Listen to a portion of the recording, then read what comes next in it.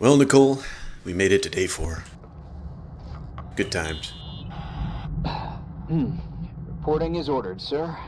You awake? Sorta. You forget your coffee? For once, I don't need it. I gotta talk to you about something. Um, okay. Okay, so why did you hang up? I don't get it. Why did you hang up your phone? You walkie talk. Oh, I guess I have to report it. Pastor Foster, lipstick, and Leonard's book. Okay. Here I am. You didn't tell me you knew Leonard. I, I thought we'd been through that. Let me finish. I spent the night going through his stuff, and I want to know what you think. About what? You obviously know more about this place than I do. About what went on here, since I left at least. Ooh, what do you mean you went through his stuff? Uh, what are you looking for? Someone calls me and says Rachel is alive. Then a lipstick appears out of nowhere. It feels like something weird's going on. Rachel is dead. I really don't know what to think. It's just that Look, the storm is dying down. You'll be able to leave soon and go back to your life. And you can forget about the whole thing, like you did ten years ago. what do you care about this old business? It's not worth losing sleep over just to play detective.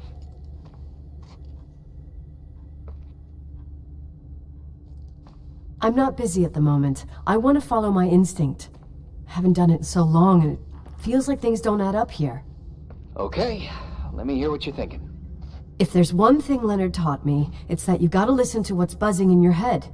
First, it might just be a confusing noise, but if you connect the dots, then it starts making sense. And right now, I've got a beehive in my head. All right, let's go hunt some bees then. Well, um, I don't know why they didn't let us go through these uh, clues on our own. They just kind of like drip feeding us exposition. So, yeah, I could have, you know. Anyhow, December 23rd, December 23rd, 8:30 a.m. What? Buffling rate call Rachel is still here. Oh, yeah. Yeah. Friend's story. Strangest gossip of the month. After 10 years, Glenda I saw Rachel in the Timberline Hotel. And she's pretty. Um, nine weeks pregnant. Oh god damn. Rachel and Leonard McGrath. Suicide. We have her last words. Found a letter of clear intent to put an end to her life. Okay. Because we'll report the wall clues. Uh, clippings. Or I I guess found a copy death. of the local paper, dated December 29th, 1981, the day that the body was discovered. According to the forensics report, Rachel had been dead for days. She was nine weeks pregnant. Yeah, that was the official version.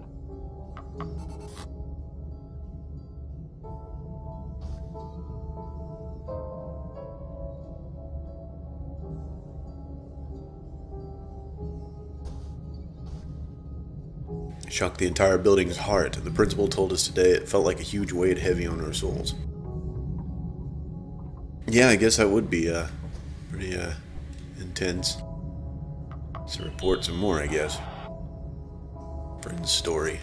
In this article from a couple years back, there's a statement by some girl who affirms she saw Rachel in a hallway at the Timberline. Who's this girl? Uh, a classmate, Glenda Ferguson. I tore out the page. I think the magazine was MT Woman. Nicole. That's a gossip magazine. They would sell their mother, e- even their cousins and nephews, just for a bunch of new readers. You don't know that. She couldn't have been wrong, or maybe you're right. Well, we'll just go with this. for. Uh, I know it's not a very reliable source. Rachel fell 90 feet into a void. She can't be alive. I thought I was the skeptical one here. Well, let me read this actually. The 29 years old girl from Great Falls claims she saw Rachel Foster, her schoolmate, suicidal in 1981 in a corridor at the first floor of the Timberline Hotel, but she ran away without saying nothing. Glenda revealed to the Daily Reporters and that she tried to approach her, but she went away. She also added, "I don't know how it's possible, but I was it was definitely Rachel." This is just the last episode of the most famous love and death story in the county. Rachel committed suicide after her affair with Leonard McGrath 30 years. What the hell was that? 30 years older than the teen- teenager was. Exposed to the public, he tried to speak with Rachel's father, Shepard Foster, but he refused. Someone says the young girl is still alive. Creepy. I keep following our monthly update to find out more. Oh, God damn, I don't want to look behind me. I'm closing this. Fuck that. What the hell was that? Ugh. Okay, we'll report another clue. So, listen to this. Graphologists doubt the authenticity of the suicide note left by the girl. Who said that? An investigative journalist. The article came out a year after her death. You think it's a setup? Perhaps. Okay, I'll, I'll hear you out. She was supposed to have jumped, I guess. Ugh, weird. Um, is there anything else? You know, I can't stop thinking about Rachel's father. Reverend Foster. He was a very strict man. Harsh, even for pastor standards. He and Leonard spent hours debating the nature of reality, the universe, and God. Well, opposites often attract.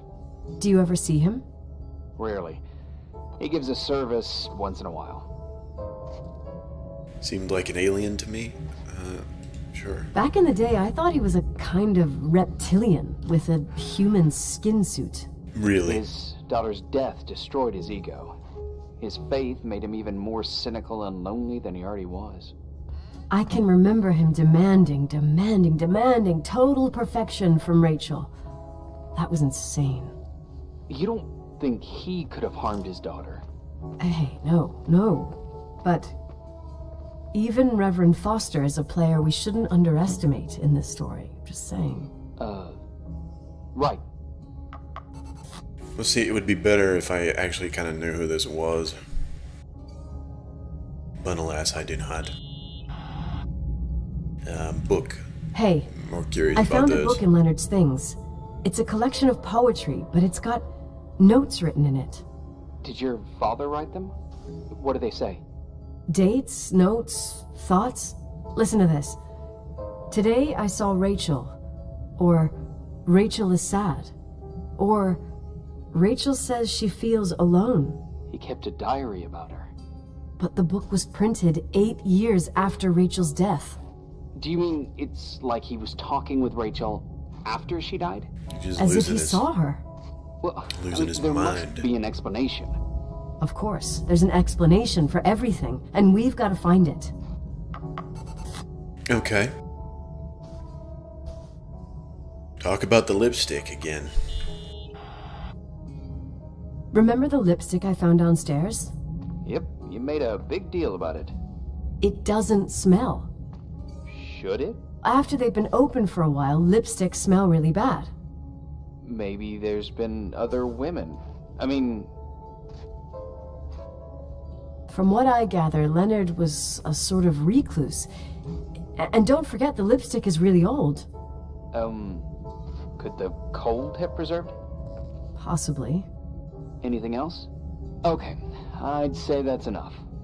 Yeah, that's enough for tonight. Uh, today, or what the hell time is it? You think there's a lot to dig up in this old story? Uh, this. Maybe, maybe not. Until I know exactly what happened. Any objections? You don't need my approval. Good job. You're getting the hang of it. But sometimes it's better to leave the skeletons in the closet. Uh, Once they come out, you never know what they'll have to say. It's a risk I already considered. I can handle it. Hard headed like your father. Trust me, at least on this one thing go to bed. You need it. Agent Crawford, this bit of advice. I'll follow it to the T. Okay, so I'm just supposed to go to bed now, I guess. Well, that was uh, a short day four, so moving on to day five. What? Hey, cutie pie. How are you? Daddy? Daddy, is that you? Where are you? I can't see you. You came back in the end. It's like the inescapability of a celestial body's revolution. We can't help but follow certain stars' brightness, even if those stars have died millions of years ago.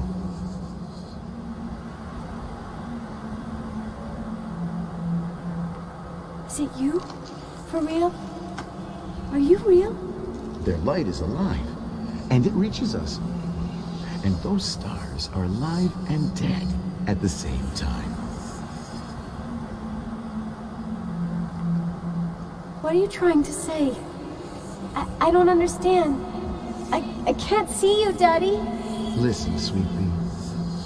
My sweetheart. Listen to my voice. It's important. I can't see you. Where are you? Where are you? You know how much I love you. I know, Daddy. I've always known it. I love you too. Say it again, please. I love you. I love you. I love you. I love you. Rachel. Rachel. Oh, Rachel. goddamn. Rachel. Rachel. Rachel. What the hell? That was day five? What the hell happened? Um, well, we're moving through the days pretty quick now, so. What the fuck? Morning. Am I interrupting? Did you sleep was for two eating. days? Steak and potatoes, cheesecake, strawberry shake, and a frothy cappuccino, Italian style. So the usual frozen beans. Um, very sharp. Sharp as a tack, as always, Agent. Uh, I did find something. Um, some tapes that were found in the main office. In truth, I shouldn't even have taken them. Oh, so what'd you find, Billy the Kid? Well, I- I don't think it's anything useful. Uh, wait, wait, where did I put them? What? The pliers, so I can pry the words out of your mouth. Oh, sure. Okay, okay. It's um, it's VHS of the behind the scenes of a TV broadcast, but it's it's all bullshit just to attract an audience. Uh, trust me. Jesus, you can be really long winded. Yeah, you're right. Sorry. Uh, They're tapes about haunted hotels, weird and mysterious stories, uh, stuff kids like. Uh, with these guys who call themselves ghost hunters. Ghost hunters. Did they hear about the old farting ghost? I'm not sure, but uh, uh, they went on a tour of old buildings in the county, and they stopped by the Timberline too. Whatever, let me hear it. Okay, uh, but I'm warning you, it's kind of. Well, listen for yourself. Okay, okay, the lights look good. How about the headphones? Don't know, there's like a buzzing noise. Listen. Is it? It sounds like Nicole. Yeah, true. Well, the German ones were better. We are about to enter a nightmare hotel. A place full of deceit and secrecy where terrible lies were played out. Nah, I don't like that. I'll do it again later. Oh, the room with the fireplace isn't bad. Okay. Spare me the kitchen. I wouldn't know what the hell to say. Fireplace okay? Kitchen no. Stan, where'd you leave all the gear? Room one. I stuck a piece of tape on the door. I didn't get that. What room? I got a buzz in the headset. Damn microphones. One one seven. 117, huh? Danny, what's that stuff in camera? It's it's giving off a glare and burns out the frame. I told you no tricks. What tricks? I didn't use anything. Stop fucking around, Danny. I told you I didn't rig anything. I saw it too. It's uh, a mirror, isn't it? Huh? It looked like the reflection on a mirror. What'd you smoke this morning? What the fuck are you two up to? Cut the crap. You're freaking me Holy shit, there it is. There it is. Where? I saw it. It's just up there. It's like a light, like a door that opens. I swear. I... Dad, stop touching me or you'll give me a heart attack. What are you talking about? I'm like over here. Fuck, I felt someone touch me. Are you kidding? I keep hearing things. I don't know if it's on that tape or what. That's it? Yep, the tape's damaged. Too damp. Well, I'd say fucking typical. How ladylike. What was that?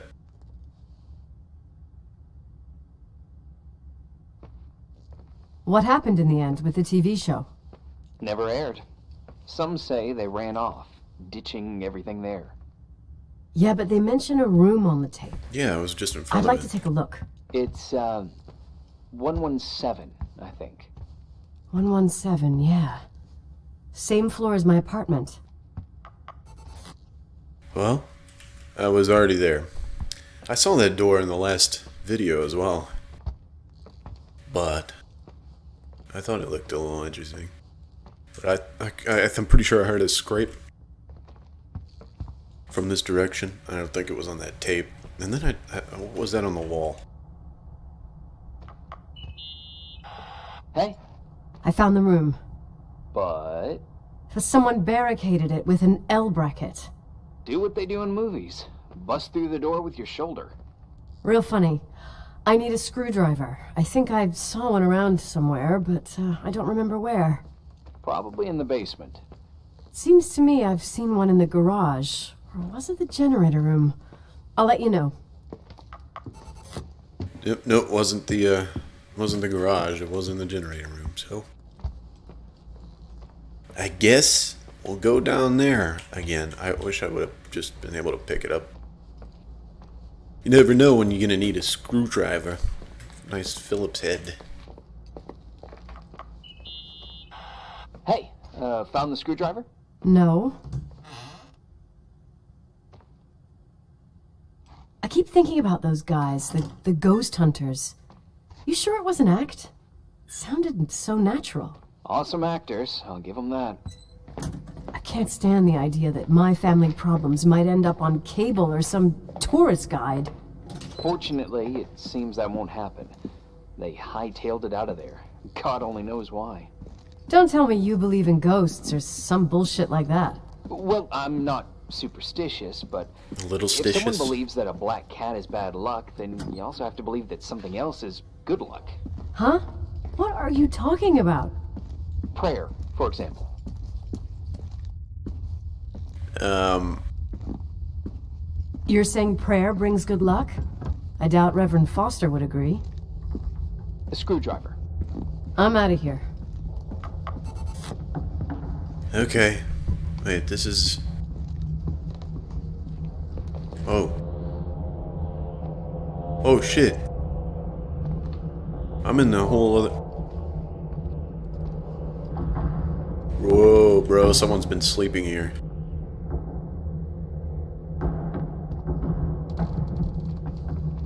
Open those, and I'm not supposed to be here. Don't dig the sounds coming from this place, though, so I'm gonna. Yep, I'm gonna skedaddle, and I'm gonna go back until I can find the generator room again. I should have just. Uh, okay, I'm just gonna. I just retraced my steps.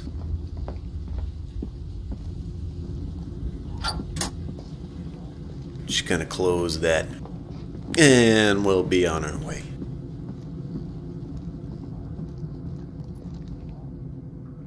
Okay. Hey, actually, maybe I can find, uh... Don't need to go there again. What is that damn noise every time? Open it. There's not a screwdriver down here, but... Oh. Hey, check it out. Uh, okay, cool. I could get through here. Good times. Take it. Thank you. Let's go. Screwdriver achievement. Gee, thanks. I feel so uh, accomplished.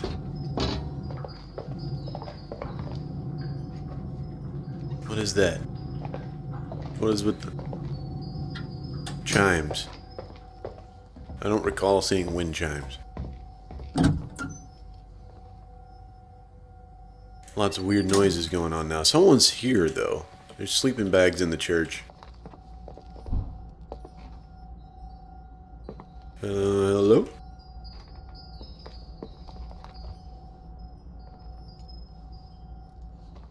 Where is it? The audio is kind of weird in the game, so sometimes I'm not sure where the sounds are coming from. Like the chimes, they just stop up there, right? Are they still, or did they just stop? It was the same thing with the phone ringing in the very beginning. I couldn't tell where it was coming from hardly. But that's okay. We're just gonna go to 117. And yeah. See what uh see what the old Ghost Adventures crew saw. This is the wrong one, isn't it? No, it's not. Okay. Okay.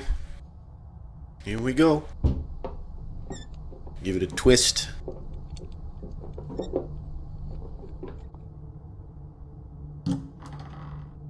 Well, probably uh, was barricaded for a reason, but we're gonna go in anyway. Hey, parabolic microphone, those are cool. Wish, um, wish I had me one of them. Those are kind of cool.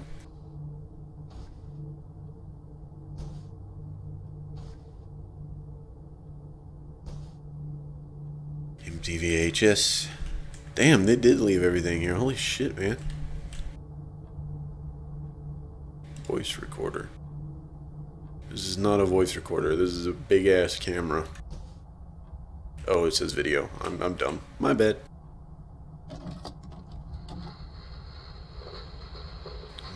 Okay, let's see what we got.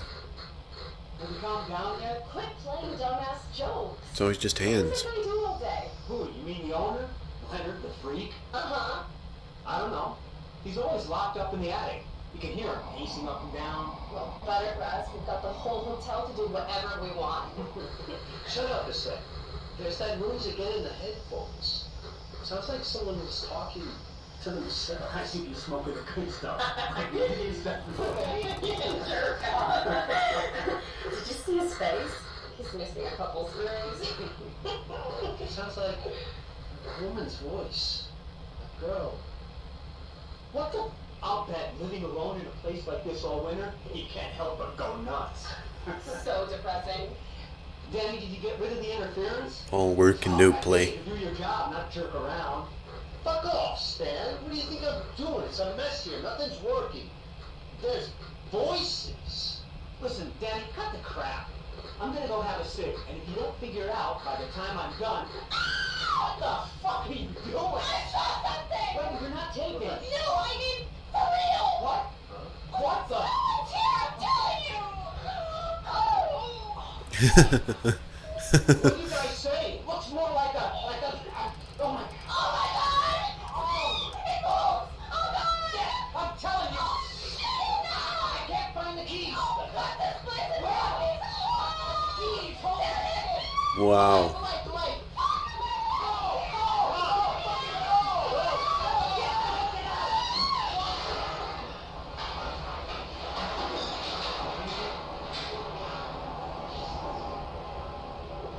Well, a lot of shit just happened. Huh?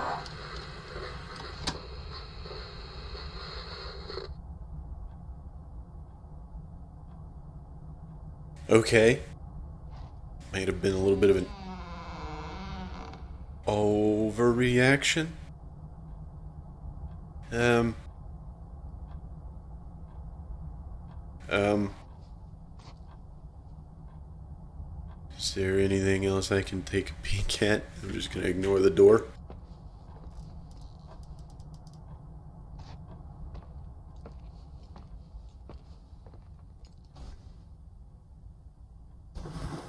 Oh, what?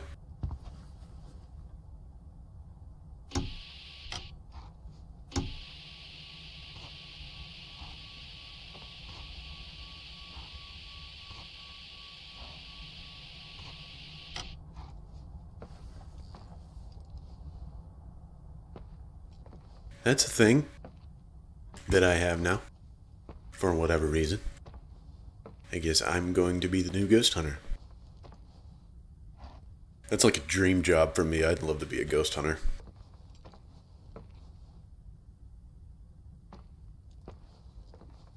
I think that'd be pretty cool. Uh, listen to the toilet. Nothing. Okay. Well. Whoops, didn't mean to do that. I guess I can get the hell out of this room then. I don't think there's really anything else for me to look.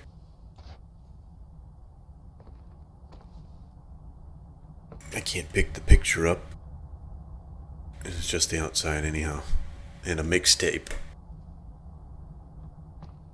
What do we got on that mixtape? Something for the road? Okay. Hey! Hey! For fuck's sake, Irving! Oh, uh, what did I do? It didn't ring. You ring. gave me a heart attack.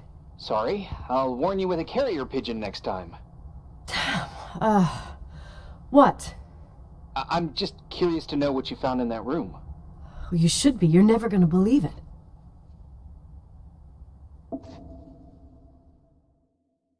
Okay, well, I guess uh, we'll do one more day.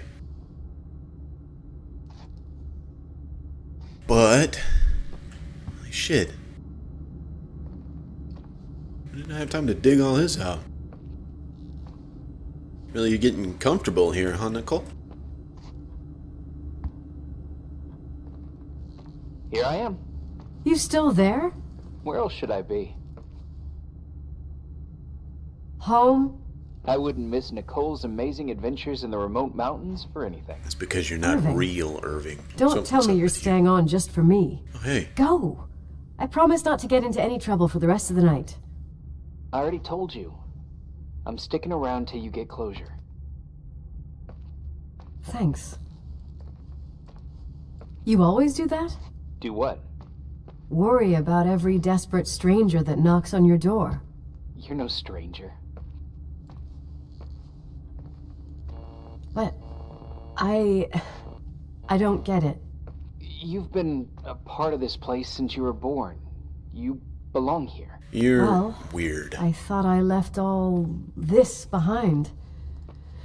Maybe I still have a ways to go. To be free? You're making progress. Two days ago, you would have skinned me alive if I'd called you a country bumpkin.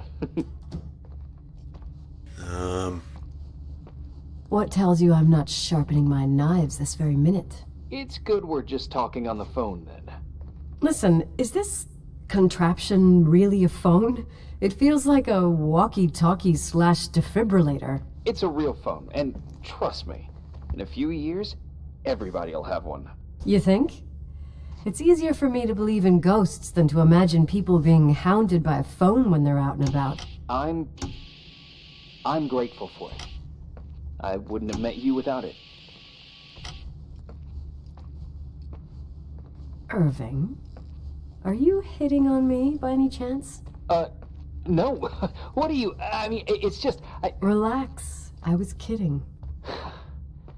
I can never tell when you're kidding. Yeah, it's one of my fascinating virtues. Same. Oh, hold on a sec. Don't go anywhere, okay? Huh? Oh, okay. You have a good night too, Miss Flattery. Merry Christmas. Good night, hon. Here I am. To be honest, I never thought I'd spend Christmas like this. Sorry, I was going off on another flashback about the life of Nicole Wilson. Christmas Eve is the right time to reminisce. you guys talk a lot.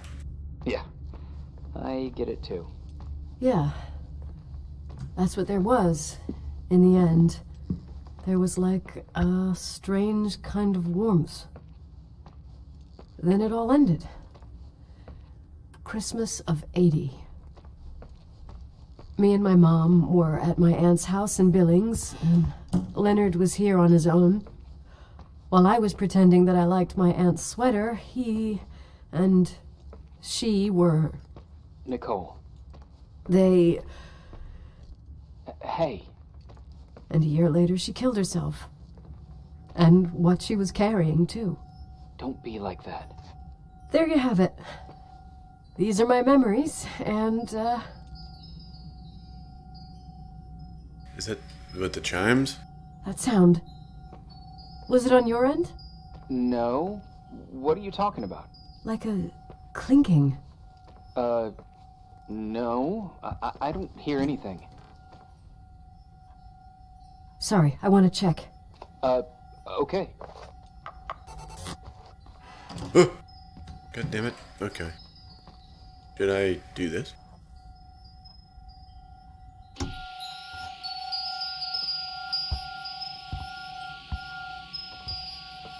Okay.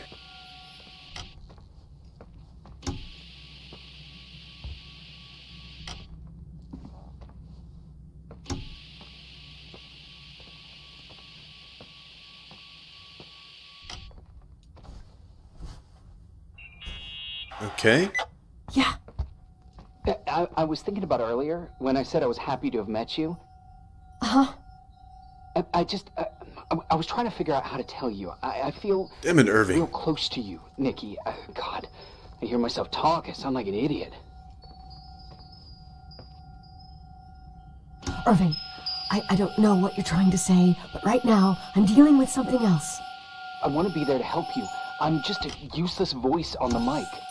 Believe me, right now I would also like a little bit more presence. You know, uh, people get close in lots of ways. Please, shh, a sec. I'm trying to listen to this noise. All right, I get that I might be overdoing it. Sorry, I'm a klutz, and, and sometimes it's. Irving, please, shut up. Exactly. Thanks. Listen, we'll get back to this, but let me figure this out. Where is this sound coming from? I don't hear anything. Anyway, um. Later.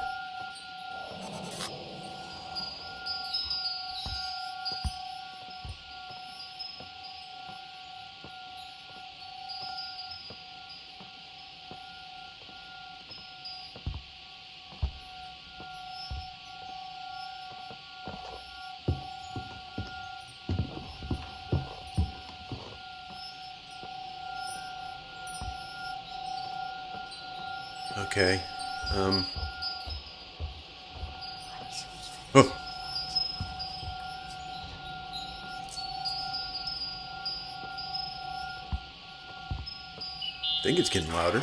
Irving, you hear me? Oh, for fuck's sake. What? Oh goddamn. Hey, sorry I didn't answer. I was, uh, busy. Oh, uh, no problem. It's fine. What do you want to tell me? Nothing much.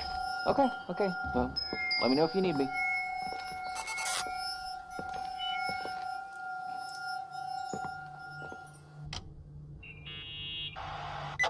Found anything? I can't hear that sound anymore. Is it the it's picture? easy to freak out when you're on your own up there. Um. Maybe you're right. Who knows, but it seemed so similar to how I remember it. Hey, don't think about it anymore. If it comes back, we'll try and figure it out. You know, for a second it was nice to imagine that the past could come back like that. We always had a party on December 23rd. Maybe you heard about it? It's pretty well known in the county. Sounds amazing. You should have seen the ballroom back then. I can almost picture it. The last time Rachel's family was there, Reverend Foster wasn't as sullen as usual. And your parents? My mother had eyes only for Leonard. And he. I saw he wouldn't stop staring at that girl. Rachel. She Nicole, did you? talked and moved with the grace and confidence of an adult. She wore a dress with a bow on her back. She was so beautiful. Perfect. Fuck. It was the beginning of the end, and we were breaking out the champagne. Nikki. I. Sorry, I'm Coming a freaking nostalgic up here. Well, I, I can't hear that sound anymore. It's gone. I'm gonna look around again and then I'm going to bed. Be careful. Um. Ugh. Okay. Did you